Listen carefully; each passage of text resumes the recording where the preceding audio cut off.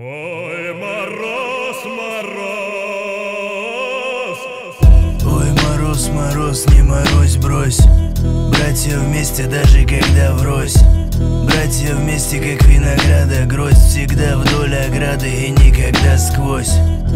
От мест паленых до мест отдаленных Как от листьев клена до вечно зеленых От номера в отеле до номера на груди От оперы в портере до опера позади Кому сигареты, кому дым от ствола Кому минареты, кому купола Кому дорог Псков, кому Махачкала Кому город ветров, кому горы бабла. Номер мобилы сменил, номера перебил. Сказали помер Кирилл, но не заговорил. Покормил рыбок, бабки в сумку Рибок поднял рюмку, выпил, закрыл дверь, выпал Дальше поезд с проводником, леваком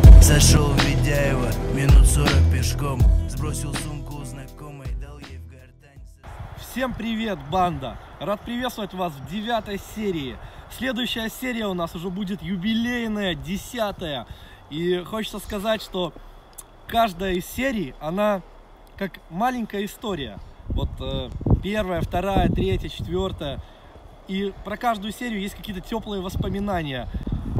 Какая-то особая царит атмосфера при разных сериях, неважно там про что мы снимаем, дрифт, драк, оффроуд. Это одна маленькая история. И прошу вас посмотреть, какую историю мы сняли в этой девятой серии.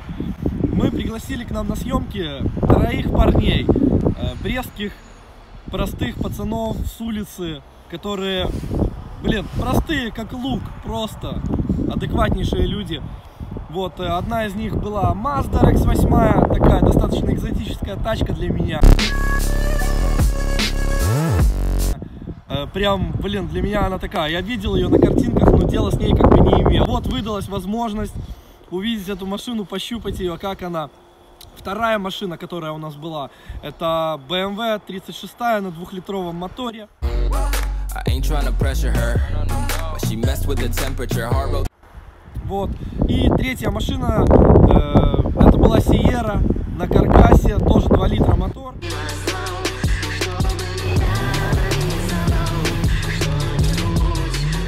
Инжекторный. Вот. И решили, в общем, мы этих ребят всех собрать в одном месте и показать вам простых пацанов. Не каких-то там топовых дрифтеров, а простых пацанов, которые условно делают машину из горных палок и на ней едут. Продолжаем тематику зимнего дрифта. Э, Так как у нас до сих пор лежит снег, не тает, все нормально, зима продолжается. И у нас сегодня в гостях э, два интересных решения для зимнего дрифта. Одно, оно очень такое примитивное, распространенное, особенно в Бресте. А второе, оно прям необычное до потери пульса. Машина вообще как бы и в единичном экземпляре, которая дрифтует у нас в городе. Вот, давайте покажу вам их. Итак, встречайте. Первое, совершенно стандартное решение. Это BMW E36 на моторе. А, да, давай вот так типа сброшу. Хоп. 2 литра. Yeah, that body's a blessing, girl. Ain't tryna pressure her, but she messed with the temperature. Hard wrote the song, but I am the messenger. Through the metropolis, there is no stopping this. Flowers and kisses, yeah. I heard you like chocolate. Light up the candles. Второе, совсем необычное решение, которое редко встречается, это Mazda RX-8, роторная на моторе 1.3. Watch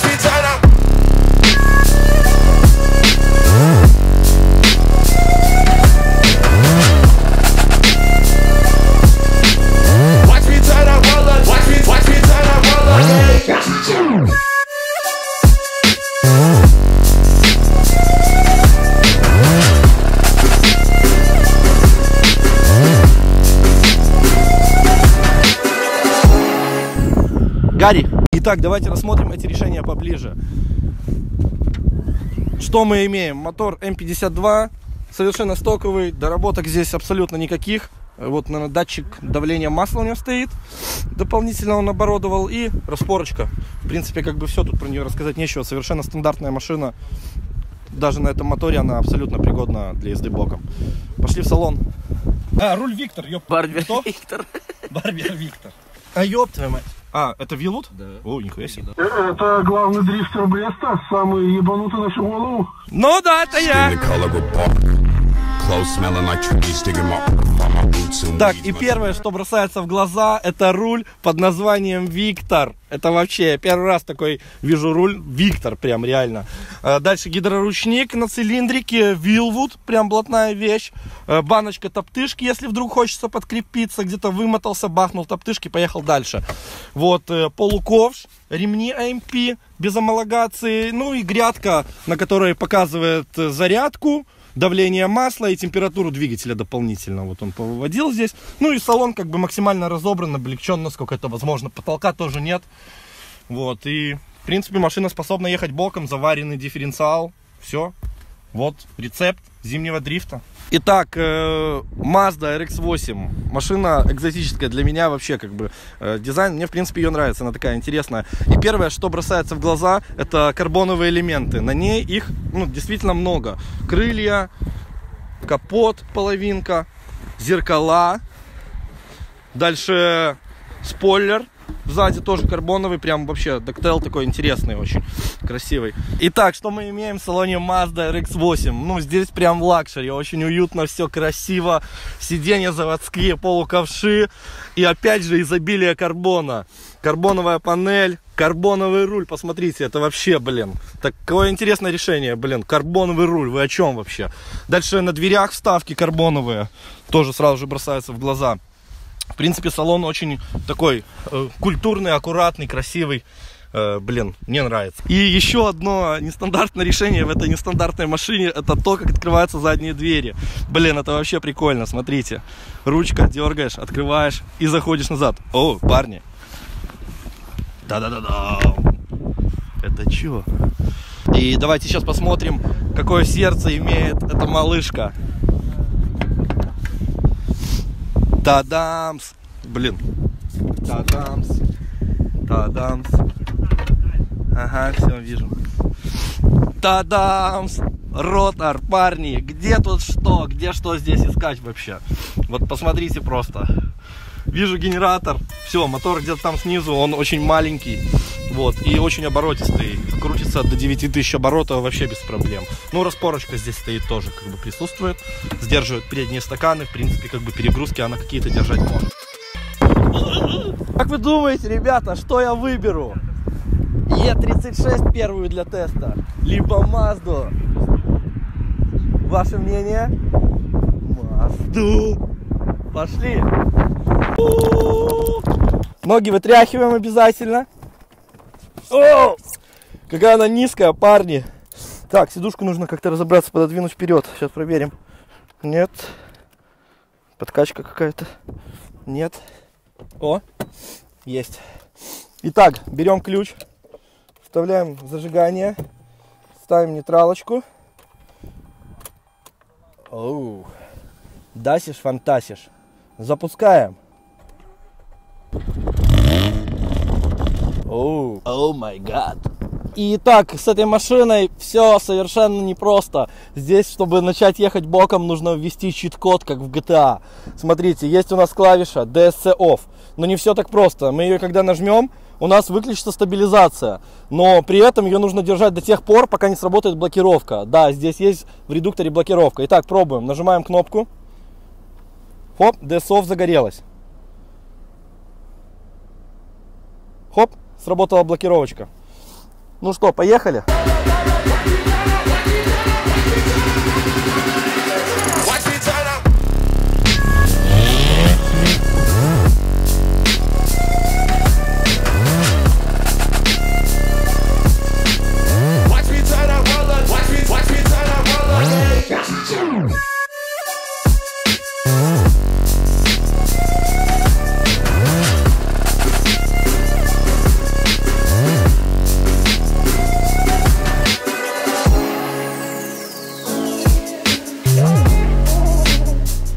Блин, пацаны, карбоновый руль это просто топ, я вам так скажу. Ну, для начала проедем, так сказать, ознакомительный круг, просто пощупаем. Сразу ехать на тачке не буду, потому что к ней не привык, как бы.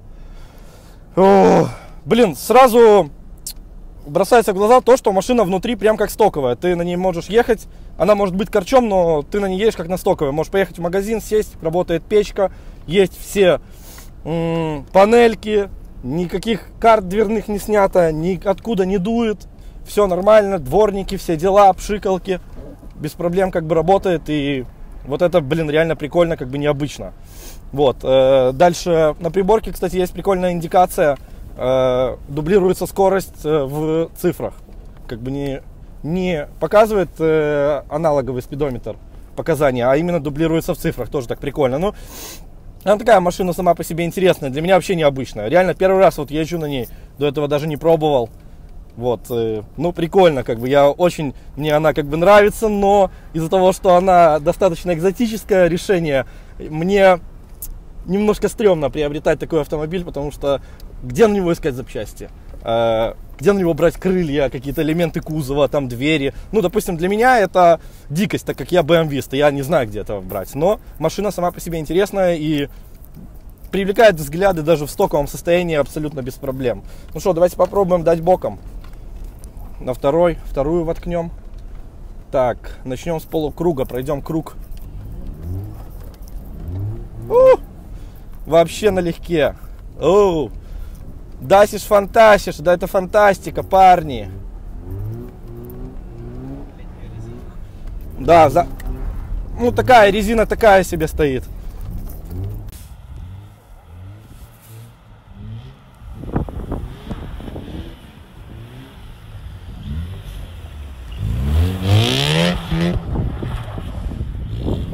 О, блин, парни, я вам скажу так, управляется машина вообще круто. Мне прям нравится, как она едет. И я, кстати, мотор даже не кручу, 3000 оборотов, хотя крутится он без проблем до 9000. Но необходимости в этом абсолютно никакой не вижу. Хоп, швыряем ее, перекладочка. Вообще, малышка податливая просто. До, до сумасшествия. Вот, и что самое крутое, что, блин, реально ее крутить не надо. Хотя роторы говорят, что они на низах, ну, вообще никакие, когда зацеп есть. Понятно, что мы едем по снегу, как бы колеса крутятся без проблем.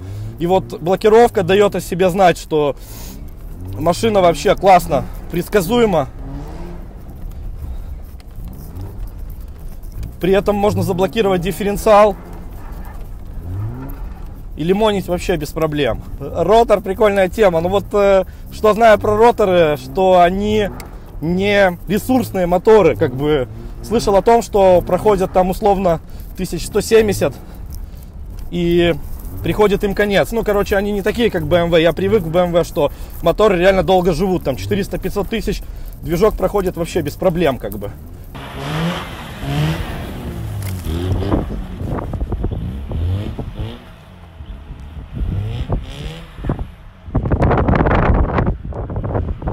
То здесь как бы этого не увидите. Но опять же движок недорогой, 700 долларов стоит столбик, в принципе. Блин, даже как это назвать столбиком? Блин, даже как-то называю это столбиком и неправильно это, это не столбик, это какой-то, блин, сфера какая-то. Поршень у него двигается по кругу. Вот, и он не совсем как бы похож на обычный э, классический двигатель. Итак, э, знакомлю вас с участником нашей серии. Зовут его Руслан. Владеет он машиной Mazda RX-8. Э, расскажи нам, почему такая платформа необычная? Откуда родилась идея вообще RX-8? Как она к тебе попала? Не знаю, наверное, в детстве в Need for Speed переиграл. О, С детства она мне очень нравилась, но не было просто возможностей. Как бы, а сейчас она более-менее стала доступная, и как-то так подвернулся вариант. Вот. Ну и решил попробовать. Ну и как вообще, оправдала она твои надежды то, о чем ты мечтал? Ты же когда покупал, у тебя были какие-то мысли? Что это за машина? Да, крутая машина, только все космических денег стоит. Что не возьми, 100, 200, 300 и 500 и пошло. Вот это, наверное, минус. Но э, ради такой экзотической внешнего вида можно жертвовать и этим, я считаю. Э, расскажи, какие планы у тебя на нее в будущем? Что хочешь с ней сделать? Вообще, Хочу продать, чертовой матери. Зачем?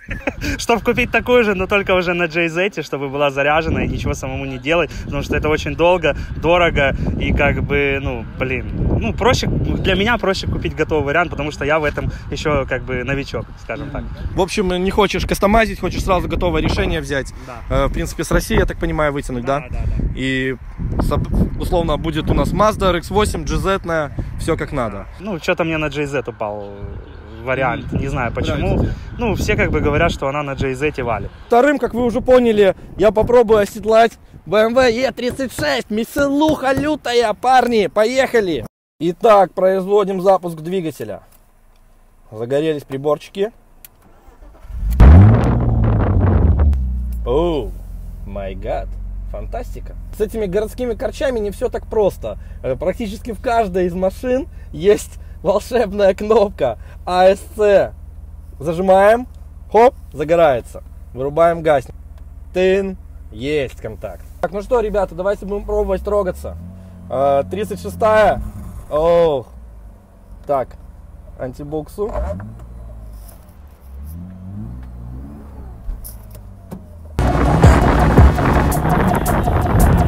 Yeah, that body's a blessing, girl. I ain't tryna pressure her, but she messed with the temperature. Heart wrote the song, but I am the messenger. Through the metropolis, there is no stopping this. Flowers and kisses, yeah. I heard you like chocolate. Light up the candles, tune up this channel. It's the ride of your life, girl. My room is Orlando. Bruce G the Mando. How much can you handle? Э, так, сразу, что могу сказать по 36-й? Э, она такая более, какая-то такая сбитая по сравнению с Маздой. Мазда, она такая мягенькая, вся такая, вся такая прям малышка. А это, блин, руль у нее потуже крутится, она такая вся пожестче. Э, кулиса здесь такая, блин, блин, ну не такая, посадка даже совсем другая, блин. Как-то ну, это совершенно разные автомобили. Это более такая бойцовая тачка, которая там, не знаю, блин, может из-за того, что я к ней привык, к этим платформам, поэтому она мне такой кажется. Но Mazda по сравнению с э, 36 BMW, вот, а Mazda, она такая мимимишная, такая малышка, такая приятная, вся хорошая, чистая. А это такая пацанка прям. Ну что, давайте попробуем, парни, конфиг проехать. И как ты сидишь здесь более прямее, пристегиваться я не буду. Вот. Хоп.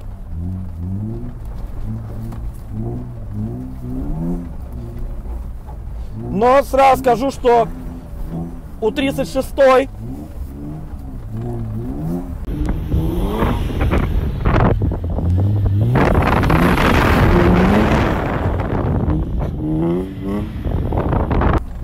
стоит резина позацепнее. Блин, ну реально на ней немного сложнее ехать, я вам отвечаю. Mazda, вот обои тачки на настолько вот в их выворотах.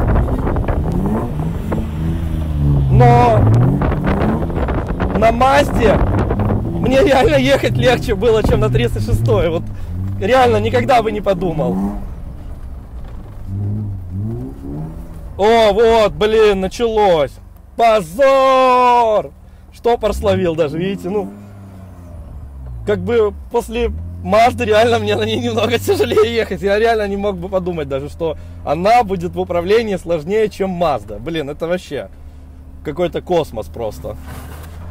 Я думал, что Мазда никуда не поедет. Итак, э, я познакомлю вас э, с владельцем этой BMW E36. Зовут его Дима. Дима Купе на седане. Всем добрый вечер. Я диспетчер.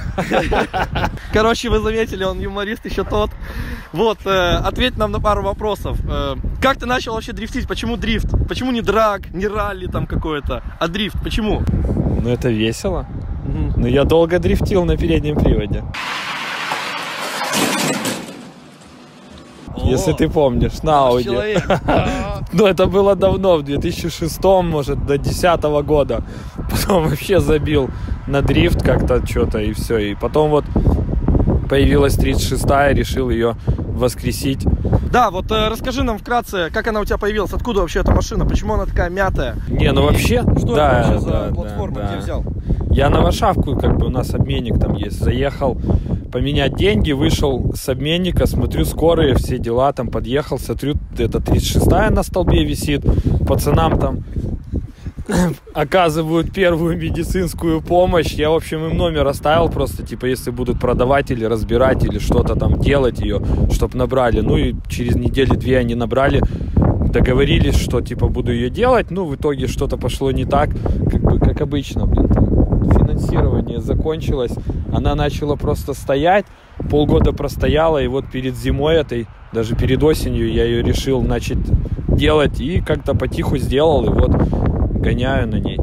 Э, еще ответь на такой вопрос. Какие у тебя планы в будущем на нее? Летом собираешься на ней ездить? Конечно. Едет по сухому? Конечно. По мокрому едет? Блядь, будет ехать просто пока не сдохнет. Вот, Может, может поменяется мотор там на 2.8, но навряд ли. И еще ответь на вопрос, где взял такую шапку? Вот, блин, я, мне она так нравится вообще. Матом можно Это- говорить? Ну, запикаем. Не, ну если подрезал просто. У шапка. пацанов. Тоже, кстати, в те же дрифтерские времена на переднем приводе. Где-то у кого-то подрезали. Так, давайте пробегимся по наружу, по спекам Сиеры, из чего она состоит. Э, мотор, давайте посмотрим. Так, одной рукой неудобно открывать. Вот, двухлитровый, инжекторный, обычный стоковый, никаких доработок здесь с ним нет. В принципе, сток стокейший. Закрываем капот. Дальше, первое, что бросается в глаза, это башбар передний. Прям мощный. Я даже боюсь представить, что будет, если она кому-то там приедет сразу. Да, кстати, башбар силовой, как бы, он крепкий, несет э, силов- ну, часть силовой конструкции автомобиля. Дальше выворот, э, как многие удивятся, типа боевая Сара, все дела, но выворот на этой машине стоковый, как и у наших всех участников. Э, абсолютно стоковый. Хозяин фанат стоковых выворотов, поэтому, видимо, он здесь поэтому и стоковый. Э, Дальше первое, что бросается в глаза, это она на каркасе. С собой человек всегда возит конусы. На случай того, если вдруг где-то он поехал в магазин за хлебом, решил дрифтануть по парковке, чтобы это было правильно, он выставил конусы, дрифтанул и поехал домой. Да, купил хлеба и домой. Вот с собой он поэтому возит всегда конусы. Дальше. Это не все. Спойлер. Э, Владельцы Сиер поймут, о чем я говорю. Прям олдскульный вообще, дефицитная вещь, крутая. Ну, мне он тоже реально нравится. Дальше. Открываем багажник. Что видим? Э, Задняя распорка силовая. Каркас, вот обратите внимание, как проложен. Ремень завязан на распорке. Все прочно держится. Спортивный бак с противоотливами, всеми фаршами и все делой. По кузову, ну, я бы не сказал, что она прям такая супер гнилая. Целенькая, нормальная Сиера. В салоне первое, что бросается в глаза, это олдскульный ручник. Посмотрите, какой он длинный. Набалдажник у него прям такой приятный, интересный, необычный, короче. Э, собрана эта конструкция на цилиндре от УАЗика. Дальше руль Momo спортивный, ковши, racing, ОН какой-то, Эктор, ремни. Вот, в принципе, все. Вот он рецепт зимнего дрифта. Все очень просто и бюджетно. Не нужно сюда миллионы долларов. А, кстати, ребят, не заметил? Это спортивные тумблера. Щелк-щелк, все дела. Все по-спортивному. Мы пробуем запустить аппарат. И вот, кстати, заметил недавно одну очень интересную вещь, колоночка. Чтобы не заскучать где-то в серой пробке, можно включить музыку и послушать ее. Так, э, включаем зажигание. Включаем топливный насос. Нажимаем кнопку старта. Это фантастика, парни. Реально, пацаны, первый раз в своей жизни пользуюсь подушкой под жопу, потому что такого стоит настолько далеко, что реально до сцепа не дотягиваюсь. Так, блин, наверное, сильно близко как-то сел. Фу. Ну ладно, поехали.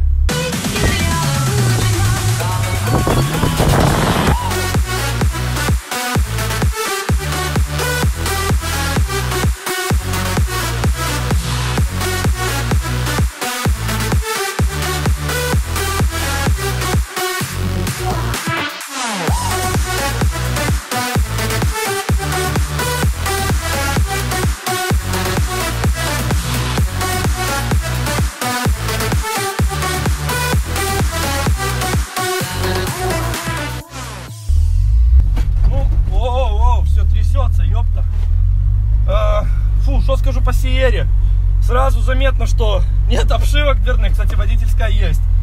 Блин, ну не такая она прям уже и гоночная, что там прям в ней трещит, все пердит. Как бы она нормально едет.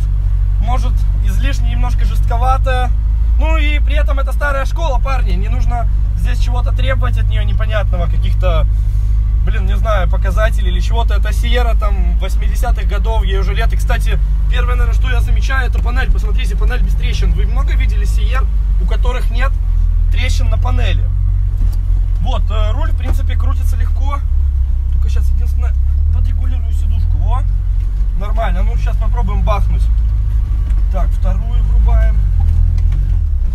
Так, едем.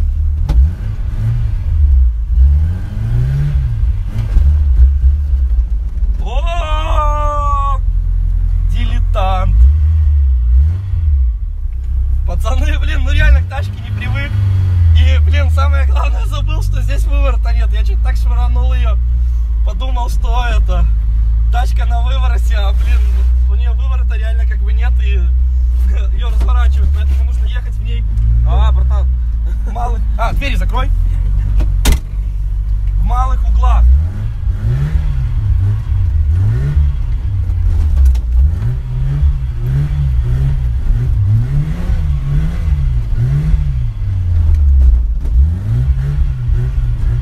Блин, я вам скажу, капец, парни, Сиера ускоряется. О, снимай, снимай.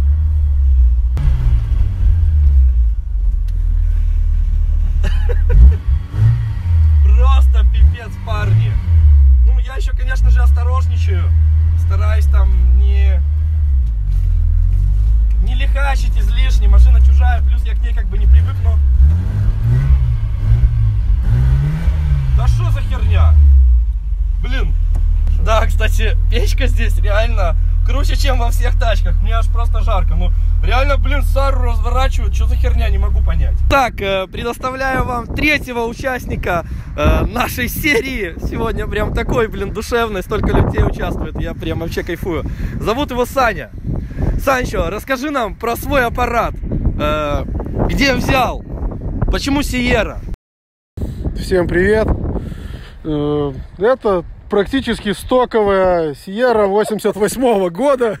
Ну, практически сток. Мотор 2.0, ОХЦ, Инжекторный. инжекторный, без всяких турбин и всякой лишней фигни. Работает просто безотказно. Которую зиму лет 5 уже просто. Сейчас зима закончится, она встанет в гараж, скинется клемма. Придет следующая зима, просто накинется клемма, и она поедет долбить дальше. Э, расскажи, сколько уже владеешь ей? Где участвовал? Ну, владею ей лет пять, купил у друга в Пружанах. Мы когда-то давно, да- давным-давно он на ней ездил, забрал у отца. Потом у него семья, дети, она стала в гараж. Мне ее стало очень жалко, она ну, классная. Я ее выкупил. Э, расскажи планы на будущее с этой машиной. Есть у нее будущее в твоей жизни или нет? А какое будущее? Она учит ездить всегда. Нет лета, нет дрифта лета, то есть зимой она учит ездить зимой. Всегда в руле, всегда едет, всегда безотказная. Безотказная, как автомат Калашникова. Просто И при этом, э, прошу заметить, на ней можно потолкаться в двери и не париться, что ты там что-то помнешь. А, да, ну про этот вопрос с другой стороны. С этой стороны она такая целочка. А вот с этой стороны видно, что она немножко Да, очень тематическая. боевые вмятины. И ма- маленькая нюанс, это она выровненная. А, она уже выровненная. Это она выровненная после зимы прошлой.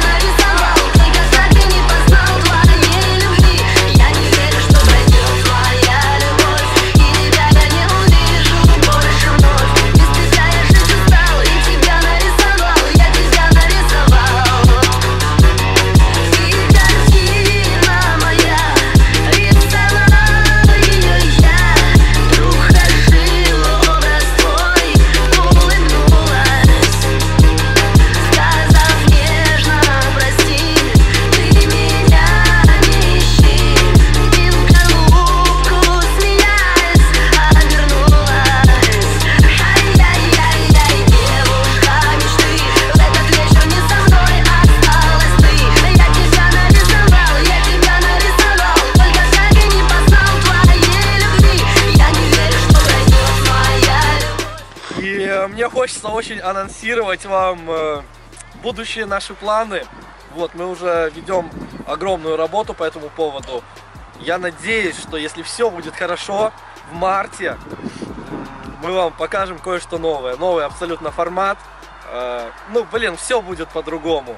Так хочется рассказать, но нет, не могу. К сожалению, не могу заранее вам чего-то обещать, говорить, потому что, как назло, оно не получится. Поэтому держите за нас кулаки. Я вам обещаю, мы вас не подведем. Всем пока.